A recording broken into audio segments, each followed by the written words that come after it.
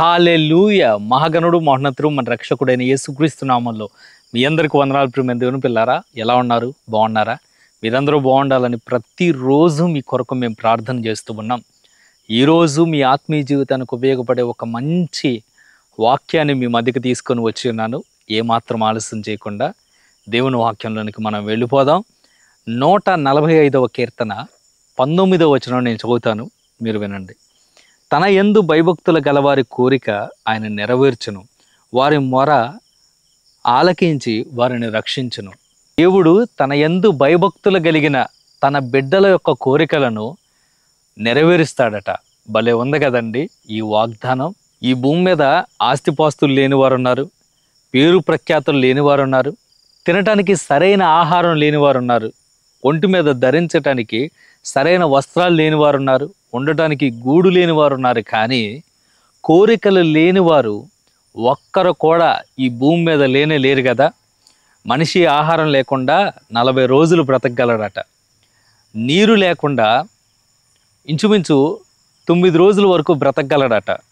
కానీ కోరిక లేకుండా మనిషి ఒక్క రోజు కూడా బ్రతకలేడండి. ఆశలు లేకుండా మనిషి తన మనుగడను సాగించటం అసాధ్యం.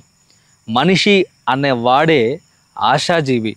వాక్యంలో రాస్తుంది ఆశ తీరకుండుట చేత హృదయం నొచ్చుకునిద్ది అని దేవుని వాక్యంలో రాస్తుంది. మనిషి తన జీవితంలో తాను అనుకున్నది జరగకపోతే తాను కోరుకున్నది తన జీవితంలో గనక నిజంగా జరగకపోతే తన ఆశలు నెరవేర్చబడకపోతే తనను తాను చంపుకోవడానికి కూడా మనిషి వెనకాడనే వెనకాడండి బైబిల్లో అహితోపేలు అనే ఒక వ్యక్తి ఉన్నాడు.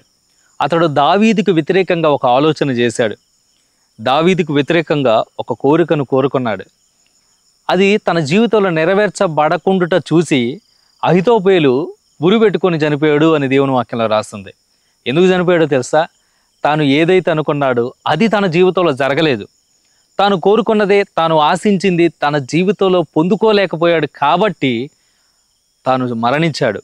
ఈరోజు చనిపోయే వ్యక్తులందరూ కూడా అనుకున్నది వారి జీవితంలో జరగనప్పుడు పొందుకోవాల్సింది వారు పొందుకోనప్పుడు దక్కించుకోవాల్సింది వారు దక్కించుకోనప్పుడు ఇంకా వారికి మిగిలేది చావే అని చెప్పేసి అనుకొని చావును వెతుక్కుంటూ వెళ్ళే వ్యక్తులు నేటి సమాజంలో ఎంతోమంది ఉన్నారు.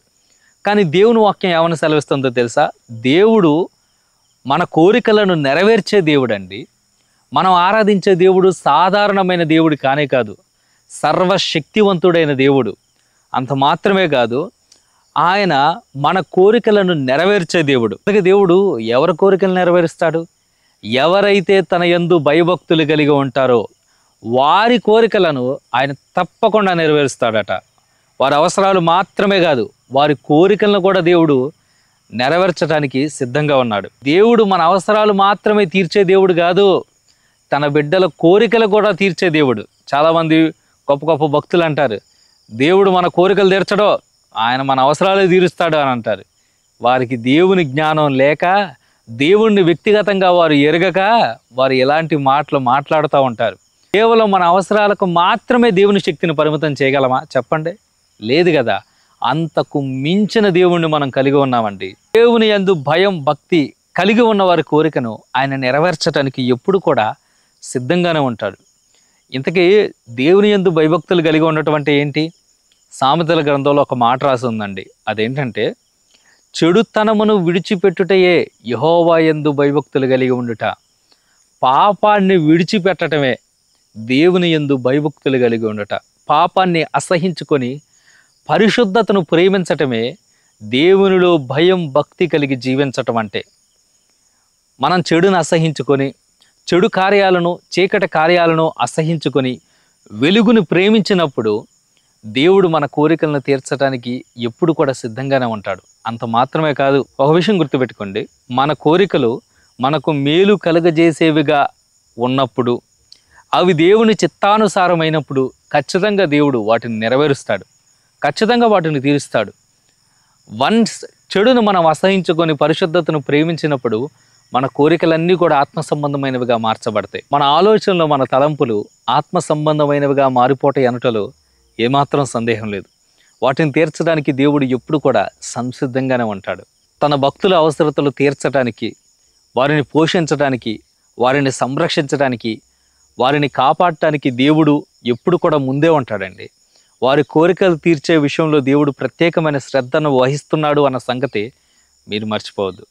దేవుని యందు భయం భక్తి కలిగి ఉంటే మీ కోరికలు దేవుడు తీర్చడమే కాదట. మీ ప్రార్థనలు కూడా ఆలకిస్తాడట. వారి మొరను ఆలకించి అని దేవుని వాక్యంలో రాస్తుంది. ఆయన వారి మొరను ఆలకించి వారిని రక్షిస్తాడట. దేవునికి స్తోత్రం కలుగును గాక. ఎంత గొప్ప దేవుణ్ణి మనం కలిగి ఉన్నామండి.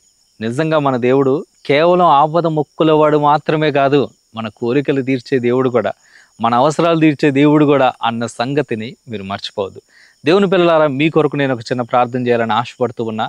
నాతో పాటు ఈ ప్రార్థనలు ఏకీభవించండి. దయగల తండ్రి ప్రేమ కలిగిన దేవ ఈ వాక్యం అన్న ప్రతి బిడను మీరు జ్ఞాపకం చేసుకోండి.